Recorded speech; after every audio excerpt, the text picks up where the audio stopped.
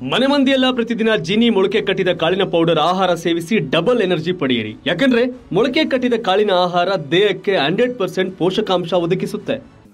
ಇಲ್ಲಿ ಮುಂದಿನ ಕ್ಷೇತ್ರ ಹೊಸದುರ್ಗ ಹೊಸದುರ್ಗದಲ್ಲಿ ಗುಳಿಯಟ್ಟಿ ಶೇಖರ್ ಬಿಜೆಪಿಯಿಂದ ಲಿಂಗಮೂರ್ತಿ ಅವರು Naveen K S M L C.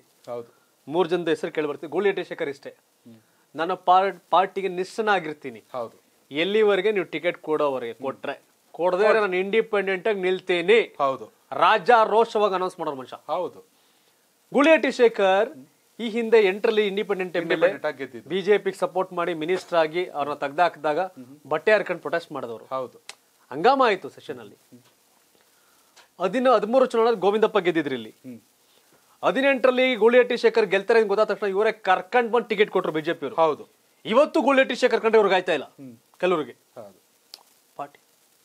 ಇದೇ ಗೂಳಿಹಟ್ಟಿ ಶೇಖರ್ ಬೇಕಾಯ್ತು ಎರಡ್ ಸಾವಿರದ ಎಂಟರಲ್ಲಿ ಸರ್ಕಾರಕ್ಕೆ. ಹೌದು. ಇದೇ ಗೂಳಿಹಟ್ಟಿ ಶೇಖರ್ ಬೇಕಾಯ್ತು ಎರಡ್ ಸಾವಿರದ ಹದಿನೆಂಟರಲ್ಲಿ. ಕ್ಯಾಂಡಿಡೇಟ್ ಆಗಕ್ಕೆ. ಈಗ Lingamurthy M L C Naveen Kumar ಅಂತೆಲ್ಲ ಇದೆ. ಬಟ್ ಬಿ ಕಾಂಗ್ರೆಸ್ ಇಂದ ಅದೇ V G Govindappa ex M L A and J D S ಇಂದ ತಿಪ್ಪೇಸ್ವಾಮಿ. ಹೀಗಿದೆ. ಇಲ್ಲಿ ಗೂಳಿಹಟ್ಟಿ ಗುಳಿಯಟ್ಟಿ ಶೇಖರ್ ಸ್ಪರ್ಧೆ ಮಾಡೋದು ಫಿಕ್ಸ್. ಕೊಟ್ರೆ ಬಿಜೆಪಿ ಚಿಹ್ನೆ ಕೊಡದೇ ಇಂಡಿಪೆಂಡೆಂಟ್ ಜೆ ಡಿ ಎಸ್ ಇಂದ ನಿಲ್ಬೋದು ಹೇಳಕ್ಕಾಗಲ್ಲ. ಹೌದು. ಇವೆಲ್ಲ ಗೊಂದಲ. ಬಿಜೆಪಿಯಲ್ಲಿ ಗಲಾಟೆ ಗದ್ದಲ ಗೊಂದಲ ಇರುವ ಕಾರಣ ಗೋವಿಂದಪ್ಪ ಗೋವಿಂದ ಅಂತ ಮುನ್ನಡೆಯನ್ನ ಕಾಯ್ದುಕೊಂಡಿದ್ದಾರೆ. ಇದ್ರ ಬಗ್ಗೆ.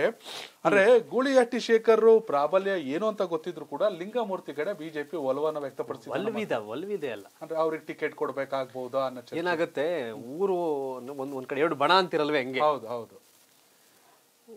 ಗೂಳಿಹಟ್ಟಿ ಶೇಖರ್ ಯಾವ್ದಕ್ಕೂ ಕೇರ್ ಮಾಡಲ್ಲ ಮನುಷ್ಯ ಬಂಡ.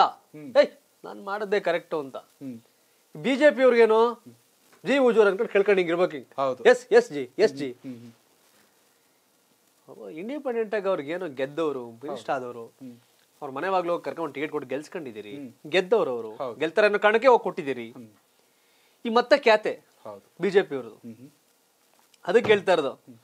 ನನ್ನ ನೀವು ಡಿಸ್ಟರ್ಬ್ ಮಾಡ್ತಿದ್ದೀರಲ್ವಾ? ನಾನು ಪಾರ್ಟಿ ನಿಷ್ಠೆಯಿಂದ ಇರ್ತೀರಿ ಹೌದು. ನೀವು ಟಿಕೆಟ್ ಕೊಟ್ರೆ.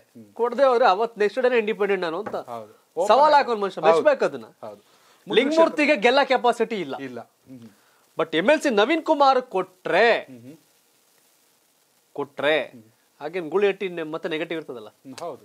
ಆಗ ಟ್ರಯಾಂಗಲ್ ಫೈಟ್ ಆಗ್ಬೋದೇನೋ ಗುಳಿಹಟ್ಟಿ ಇಂಡಿಪೆಂಡೆಂಟ್ ಆದ್ರೂ ಅಂತಿದೆ ಆದ್ರೆ ಬಿಜೆಪಿ ನನ್ನ ಮಾಹಿತಿ ಪ್ರಕಾರ ಗೆಲ್ಲೋರ್ನ ಬಿಟ್ಟು ಗೆಲ್ದಿರೋರ್ಗೋಸ್ಕರ ಗಲಾಟೆ ಮಾಡ್ಕೊಂಡು ಟೈಮ್ ವೇಸ್ಟ್ ಮಾಡಲ್ಲ. ಮಾಡಲ್ಲ ಮಾಡಲ್ಲ.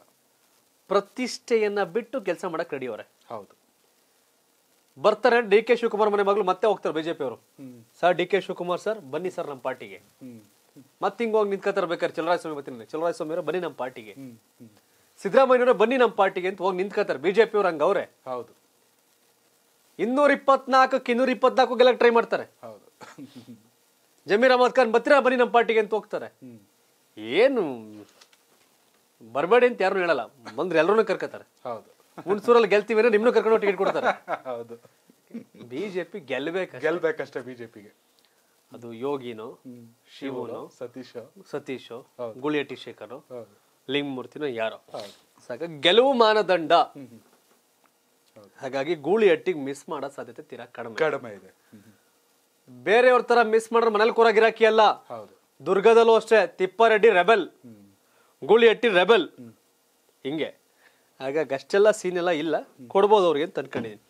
ಮುಂದಿನ ಕ್ಷೇತ್ರ.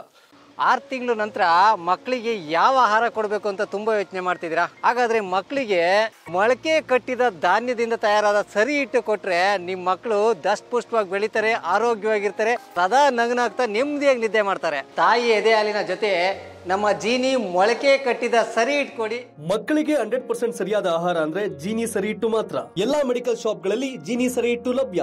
ಅರ್ಧ ಕೆಜಿ ಚಿಕನ್, ಅರ್ಧ ಕೆಜಿ ನಾರ್ಕ್ ಚಟ್ಟಿನಾಡು ಬಿರಿಯಾನಿ ರೈಸ್ ಮಸಾಲಾ ಇದ್ರೆ ಇಪ್ಪತ್ತು ನಿಮಿಷದಲ್ಲಿ ಸೂಪರ್ ಆದ ಬಿರಿಯಾನಿ ರೆಡಿ ಆಗುತ್ತೆ. ಈ ಕೂಡಲೇ ಕಾಲ್ ಮಾಡಿ ನಾರ್ಕ್ ಚಟ್ಟಿನಾಡು ಬಿರಿಯಾನಿ ರೈಸ್ ಮಸಾಲಾ ಮನೆ ಬಾಗಿಲಿಗೆ ಡೆಲಿವರಿ ಕೊಡ್ತಾರೆ.